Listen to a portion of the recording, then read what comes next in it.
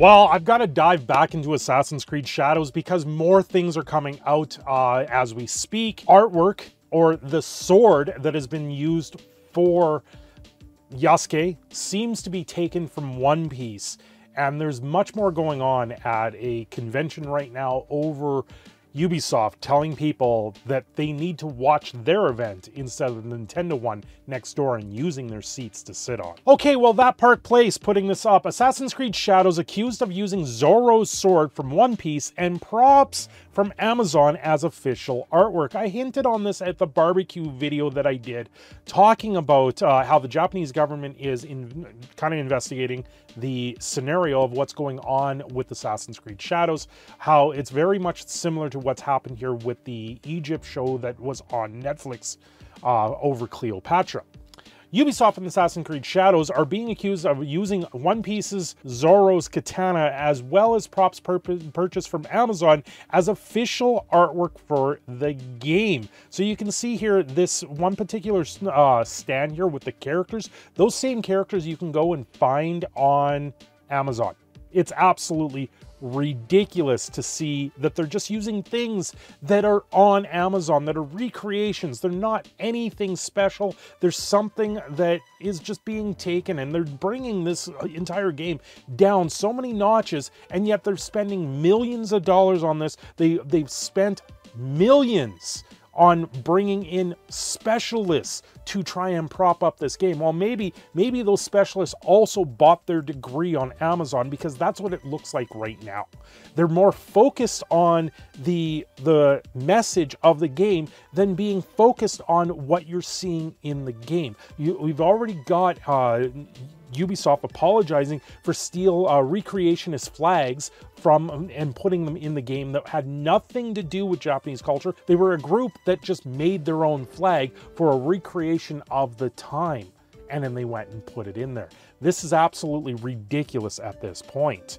Now, on top of all of this, we have Grummz reporting, this is today while I'm filming it, um, just got a report from someone at Japan Expo. Ubisoft staff are asking anyone using the seats at Assassin's Creed Shadows booth to turn around and face their screen. Of course, they want good PR. They want good things. Now, this is Grummz. Um, we've gone back and forth with this a little bit much, and I don't take everything that is said online with face value, but this is pretty telling at that point that this game, people are not happy with it. People were using the benches to watch the more popular Nintendo booth across the way. Nobody cares about Ubisoft. And you can see there's a few pictures here, Ubisoft staff, and you can see they're not really see there's the Nintendo one in the background. So they're telling people apparently to face the other way where their screen is. I think this is poor planning. And you know what? There's a much bigger screen across the way.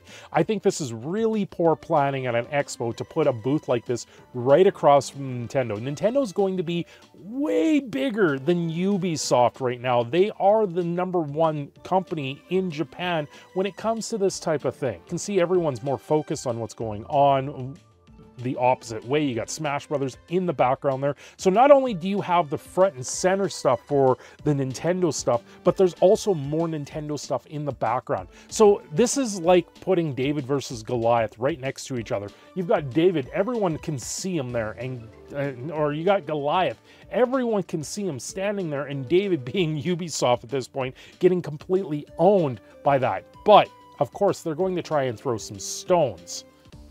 And in another shot of Assassin's Creed Shadows booth, they are showing exclusive gameplay, but, but it's the same video they already posted on YouTube. If you stay till the very end, they're giving you a swag. Stay for the swag as long as you watch our booth. And you can see, telling from this picture here, you can see there's like three people watching the Ubisoft stuff.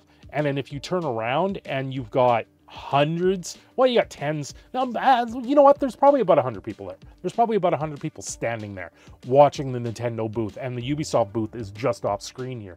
So I'm not surprised to hear all of this. Is, you know, people are saying the game's DOA. I bet it's trash. Um, you've got the change.org petition, which if we go to that, it's, oh, how many, 85,000 signatures have signed this Japanese petition right now. Uh, the bag of goodies is just a pile of crap. You know, I miss booth babes. Well, yeah, but this is also in Japan. I don't think they have that westernized culture over there, and it's a loss for Ubisoft this. Bag of goodies, a note begging you to use Epic Games, some stickers that last for uh, last less than 24 hours on, and a sticky notepad that only gives you 20 pages. Ubisoft would be broke without Epic Games paying them. I dread to see that they're doing uh, what they're doing to Beyond Good and Evil 2. They are remaking that. I just recently spoke about how Beyond Good and Evil, they put up a trigger warning in the game. So this is just another notch in their belt for Ubisoft. How this game people just are not interested in it. They've they've completely ruined their own franchise by pushing agenda-driven gameplay, by pushing agenda-driven narratives in a time of history that could have been very immensely immersed into the uh, Japanese culture. And obviously, we get a guy running around in a samurai suit, slashing and hacking people's heads off to hip hop music what kind of game are they really pushing here? And I think the narrative behind the game is absolutely one that people do not want. Now, I gotta say, Assassin's Creed Shadows, what's going on here with Yasuke being the main protagonist is probably not going to be the in the top 10 of things wrong with this game. This game is going to come out and it's probably going to be an optimized mess of a game. We're going to probably have a day one patch. You're going to have so many other things that are going to prop up showing how poorly optimized this game is and how bad it's going to be. I wouldn't be surprised to hear of any of that, but we will have to wait to see, especially wait to see who is the narrative design um, sensitivity readers behind this game. Anyway, I'm your Pro Canadian Phoenix Cindershadow. I'm signing off here. Don't forget to like and subscribe and hit the notification as well. Come back and we will see you once again very soon.